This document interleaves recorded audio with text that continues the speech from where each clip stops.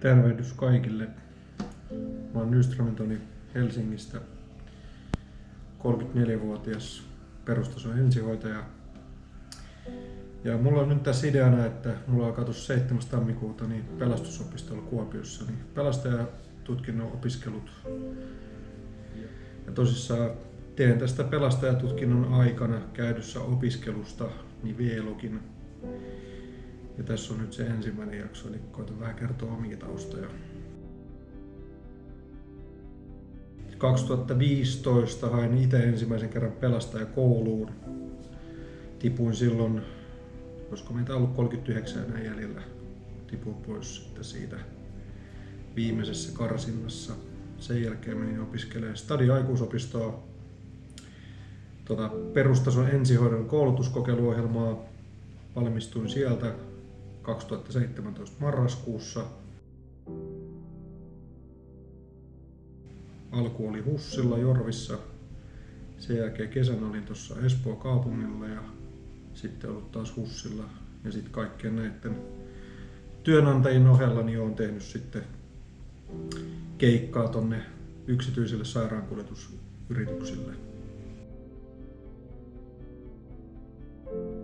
Joskus nuorempana autettu kun on sitä apua tarvinnut ja on saanut sitä, niin sieltä se tarve sitten varmastikin tulee jollain tavalla, että haluaa myöskin itse koittaa auttaa ihmisiä, kenellä on sitten hätä. Kyllä varmaan sitten toinen erittäin niin kuin vahva semmoinen peruste tälle on se, että työt ei tule loppuun ikinä. Et semmoista päivää ei tule, kun ihmiset lopettaa sairastamisen.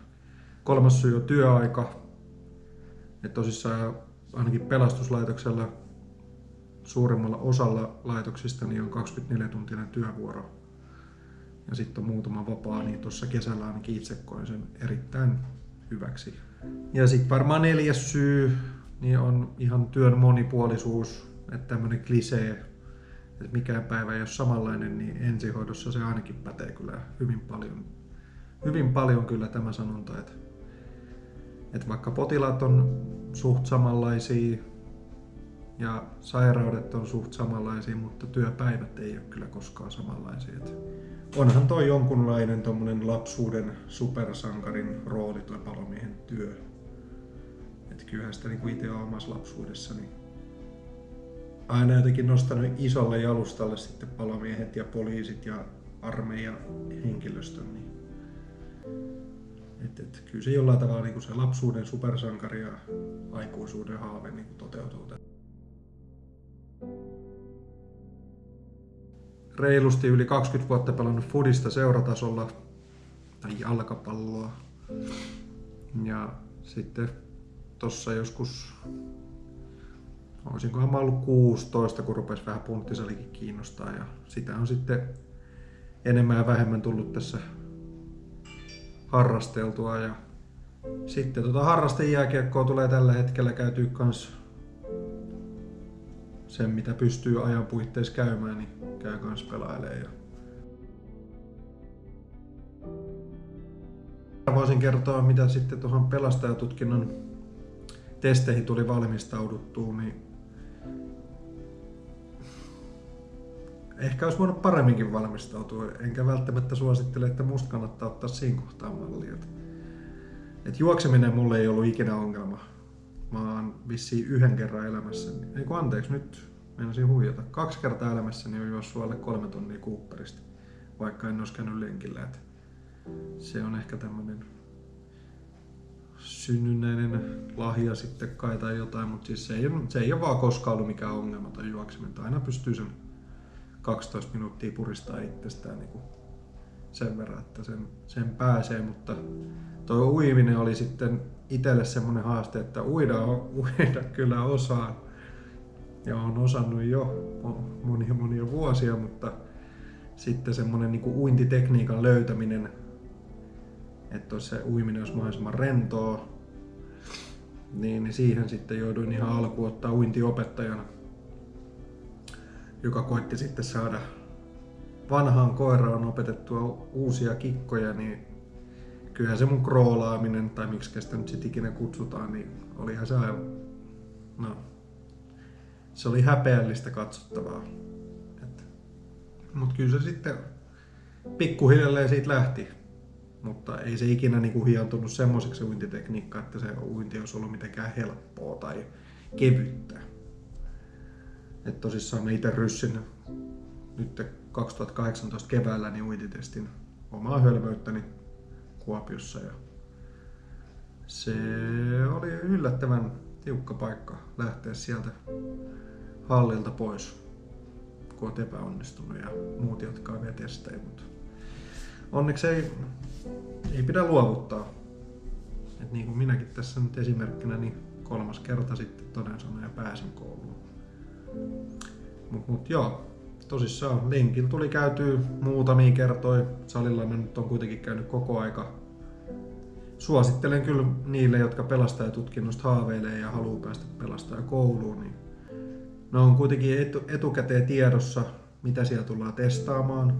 Siellä on kaikki rajat tiedossa, että paljonko pitää minimissään saada niistä suorituksista tehtyä. Niin käykää ihmeessä kokeilemassa niitä ja kattokaa, että pääsettekö niihin. Ja jos ette pääse jossain kohtaa, niin sitten treenatkaa sitä osa-aluetta. Niin, että ainakin pääsette niistä lihaskuntatesteistä läpi. Että psyykkisen testin puoleihin tai noihin soveltuvuuskokeisiin, niin niihin nyt ei hirveästi voi sinänsä ennalta valmistautua. Et kyllä ne sieltä poimii sitten semmoiset ihmiset, ketkä heidän mielestään oikeasti kuuluu sinne kouluun. Itse sain 2015 pelastuskoulun psykologisista testeistä, niin sain kaksi pistettä. En muista paljon maksimit oli. Mutta nyt sitten taas, nyt syksyllä niin 2018 pelastusopiston psykologisista testeistä, niin sain 7 kautta 10. Et sitä on ihmisenä henkisesti kasvanut tässä parissa vuodessa nyt paljon tai sitten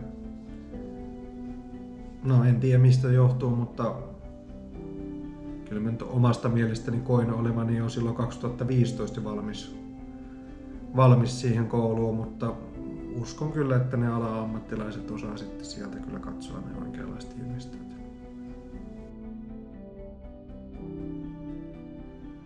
Joo, eli tämmöiset on mun taustat ja tosissaan pyrin yksi-kaksi video kuukauteen julkaisee tuolta opistolta. Jos pystyn enem, enemmän, niin toki sitten, ja jos on oikeasti jotain semmoista julkaisemisen arvosta, niin mielenkiintoista materiaalia niin sitten enempi, mutta veikkaisin, että on yksi-kaksi aika semmoinen, semmoinen niin kuin fiksu määrä. Et pyrin tekemään mahdollisimman avaran ja monipuolisen näistä videoista ja sille, että ne ketä kiinnostaa, millä tavalla palomiehet harjoittelee ja kouluttautuu ja sitten myöskin niitä, ketä kiinnostaa toi pelastusopistolla mahdollinen opiskelu joskus, niin sitten saisi nekin vähän minusta omaa kuvaa siitä, että mitä kaikkea siellä tehdään ja mitä siellä tapahtuu. Toivottavasti viihdyit, pysy kanavalla ja pitäkää itsestänne huolta. Se on mun.